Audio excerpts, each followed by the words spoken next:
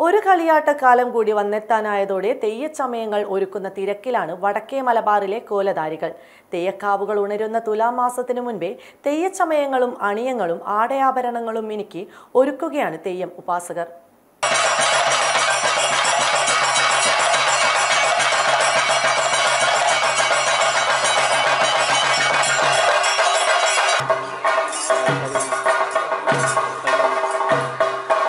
തെയ്യങ്ങൾ അരങ്ങൊഴിയുന്ന മിഥുനം മുതൽ തുലാം വരെ തെയ്യക്കോലങ്ങളുടെ ആടയാഭരണങ്ങളുടെ നിർമ്മാണ കാലമാണ് കളിയാട്ടക്കാലമായാൽ കാവിൽ ഭഗവതിമാരുടെ വെള്ളോട്ട് ചിലമ്പുലികൾ ഉണരുമ്പോഴേക്കും അണിയമ്പലങ്ങളും ഒരുങ്ങിത്തീരണം.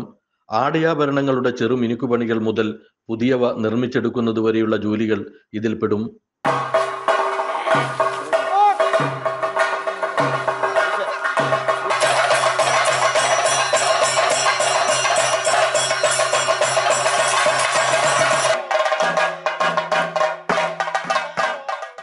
ഇന്നത്തെ കാലത്ത് പിന്നെ മറ്റ് പലതരത്തിലും സ്റ്റേജ് ജാഥ തുടങ്ങിയിട്ടുള്ള മേഖലകളിലേക്ക് തെയ്യത്തിനെ കൊണ്ടുപോയിട്ട് വികൃതമാക്കുന്നതിനോട് ഒരു കാരണവശാലും എനിക്ക് യോജിക്കാനോ അല്ലെങ്കിൽ ഒരു പ്രചരണത്തിന് വേണ്ടിയിട്ട് ഈ തെയ്യത്തിന്റെ ബാക്കിയിലെ കാര്യങ്ങൾ ചെയ്യുന്നതിനോട് എനിക്ക് വലിയ യോജിപ്പൊന്നുമില്ല.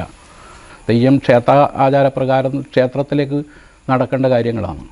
പിന്നെ വിദേശികൾ വന്നതിന് ശേഷമാണ് അധികം ഈ തെയ്യം പിന്നെ മറ്റു മേഖലകളിലേക്ക് പോകാൻ വേണ്ടി തുടങ്ങി ഈടിയുള്ളവരെല്ലാം ഈ പഠിക്കാൻ തന്നെ ഇനി ഈ തെയ്യത്തിനെ കുറിച്ചിട്ട് അനുഷ്ഠാനം നിലനിലയിൽ ഫോക്ലോർ നിലയിൽ പഠിക്കാൻ തന്നെ തുടങ്ങി വിദേശികൾ ഇവിടെ വരാൻ തുടങ്ങിയതിന് ശേഷമാണ്. അവർക്ക് ഇതിനെക്കുറിച്ചിട്ട് അതിന്റെ മൂല്യം എന്താണെന്നില്ല. അവർക്ക് നന്നായി മനസ്സിലാക്കിയിട്ട് അവർ പഠിച്ചു പോയിട്ടുണ്ട്. പക്ഷേ ഈടിയുള്ളവർ അതല്ല ചെയ്തത്.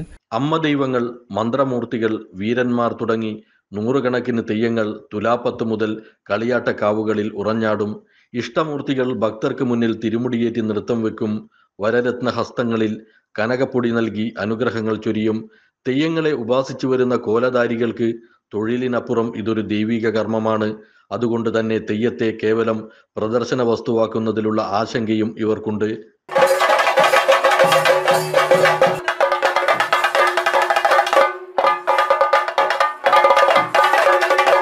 News bureau Payyanur.